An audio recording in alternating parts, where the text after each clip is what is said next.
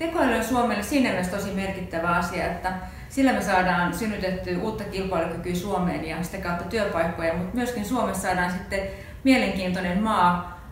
ulkomaisille yrityksille tulla Suomeen, koska tavoitehan meillä on, on synnyttää osaamista ja, ja sellaisia verkostoja ja ratkaisuja, jotka sitten tukee myöskin tämmöisten ulkomaisten toimijoiden Suomeen tulemisen ja sitä kautta tietysti taas niitä työpaikkoja tulee. Että kyllä mä näen, että tämä on ihan, ihan merkittävä hanke ja hienoa, että Suomen hallitus on lähtenyt tälle, tälle tota, kehittämisen polulle.